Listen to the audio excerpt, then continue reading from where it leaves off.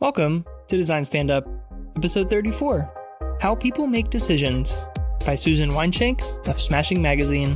And I'm Ryan Stone, your host and fellow UX designer. Welcome to the show if it's your first time listening. Here at Design Stand Up, I'm partnering with top blogs in the design industry to read you well crafted articles from the best in the biz. My goal is to help you learn about design on the go so you can spend less time staring at a screen and more time doing what you love. Today, behavioral scientist Susan Weinschenk tells us four facts about decision making which are sure to surprise you. So without further ado, let's stand up. How People Make Decisions by Susan Weinschenk of Smashing Magazine. Kelly's in charge of choosing IT cloud services at her company. She has signed the company up for a chatbot service and has had the pro level service not the free or standard, for two years. It's time for the annual renewal. Will she renew? Will she decide to renew but switch to the free service only? Is there anything about the email notice and or web page for the service that will either encourage her or discourage her from renewing? There is a lot of research on human decision making. Here are some of my favorite insights from the research. Most decisions are not made logically. We like to think that we are logical and that when we are making a decision, we carefully weigh all of our alternatives. When it's time to buy a new car, do we read all the specs and reviews and choose the one that is the safest and most economical? When it's time to renew the chatbot service, does Kelly do a study to see how much use she has made of the pro services and evaluate whether she should stay with that level and pay that amount each month? These would be the logical ways to make the decision. And although we sometimes make decisions rationally and logically, there are hundreds of decisions we make every day, and we don't do a logical think through of every one. Even the big decisions where we think we are being logical, the research shows that most of our decisions, big or small, are made unconsciously and involve emotion. Here are some facts about decisions that may surprise you. Fact number one most of our decisions are made unconsciously. By looking at brain activity while making a decision, Researchers could predict what choice people would make 7 to 10 seconds before they themselves were even aware of having made a decision. This means that even when people think they are making a conscious, logical decision, chances are that they aren't aware that they've already made a decision and that it was unconscious. We aren't even aware of our own process. Do you write your messaging and content to appeal to logical thinking? If so, it's possible and even probable that your logical, persuasive arguments to your target audience about why they should go with the premium service or why they should purchase a particular product may be in vain. Be suspicious of what people say. Another problem is that if you are diligent in your design process and ask people what factors are important to them, you might not be getting a true answer. For example, if someone interviewed Kelly and asked her why she chooses the pro level each year, it is likely she will come up with an answer that sounds very logical. For example, about the service or how her company uses it and so on. When the real reason she stays with the pro rather than the free plan may be emotional. I don't want to have things go wrong, and if I pay money, things won't go wrong. Or just habit. It's what we always sign up for. What people tell you as the reason for what they do, what they do, may not be the actual reason. People need to feel in order to decide. If you can't feel emotions, then you can't make decisions thanks to our ventromedial prefrontal cortex, or VMPFC. The VMPFC is part of the prefrontal cortex, the front of your brain. It is important in regulating fear. Other parts of your brain, in particular the amygdala, tell you when you should be afraid and what you should be afraid of. The amygdala is where conditioned fear responses are born and perpetuated. The VMPFC, in contrast, has an opposite role. It mitigates conditioned fear. It stops you from continuing to be afraid in certain situations. When the VMPFC is active, then you are able to let go of conditioned fears. As a result, you are then able to make a decision. You should just assume that all decisions involve emotions. Rather than just making logical arguments to persuade, you are more likely to persuade people to take an action if you understand how they are feeling about the decision and feed their feeling. For example, if Kelly is feeling apprehensive about making a wrong decision, then your messaging should be more about making her feel secure and safe than it is about product features. People buy when they feel confident of their decision. There's actually a neuron that fires up in the brain that triggers people to take action when the brain decides it is confident of a decision. This is subjective. It's not necessarily based on the amount of information you've collected. It's a feeling of confidence. If you want people to take action, then you need to make them feel confident. If you want Kelly to choose the Pro level again, then you need to give her messaging about the Pro version that makes her confident of her choice. For example, feed data back to her about how much she has used the service. This will make her feel confident that she is making the correct choice.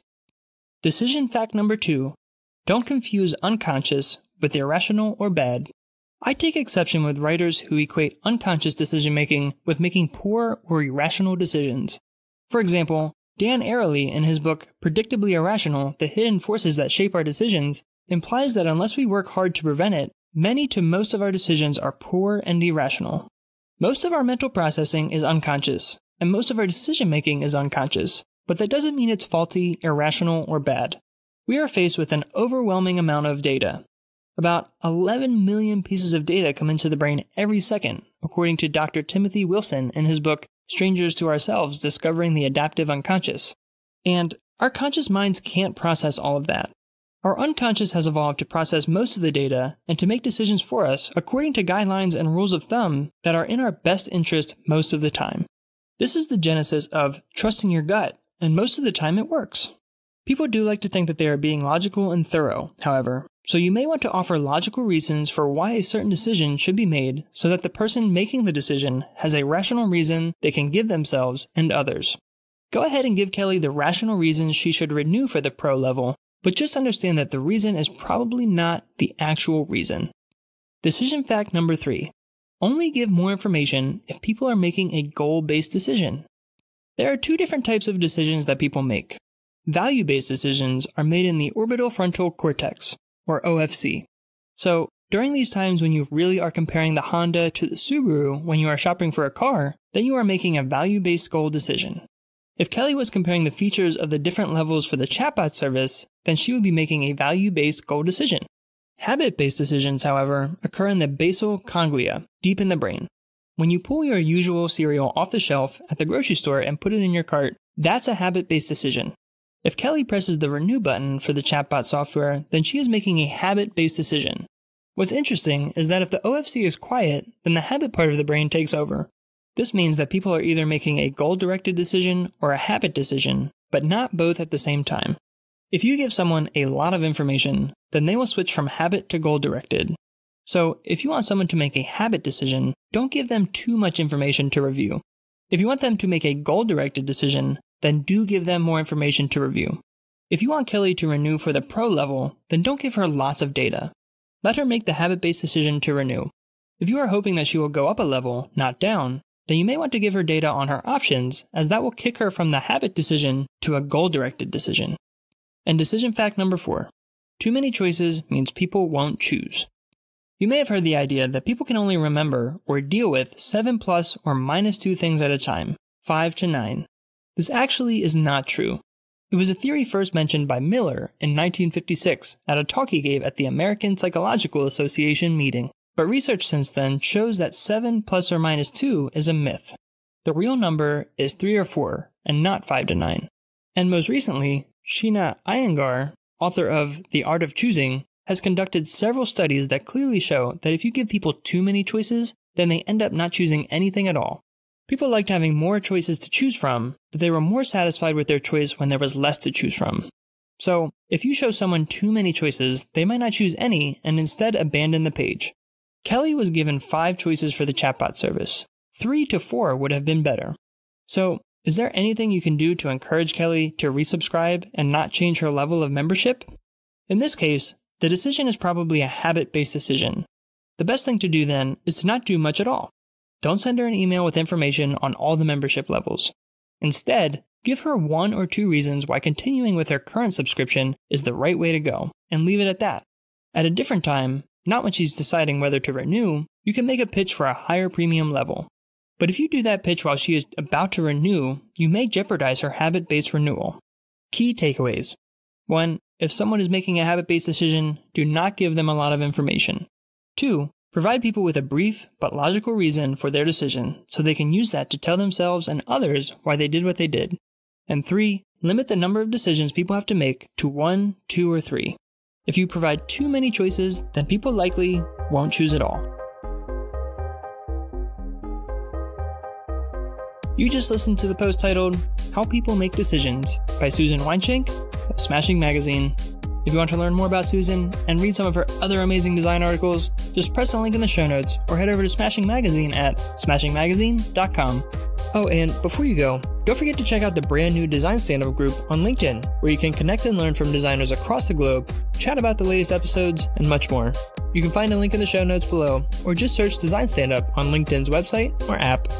Well, that's all I have for you today, guys. It's been a pleasure. Until next time, fill up those coffees, turn up those tunes, and let's design a better world.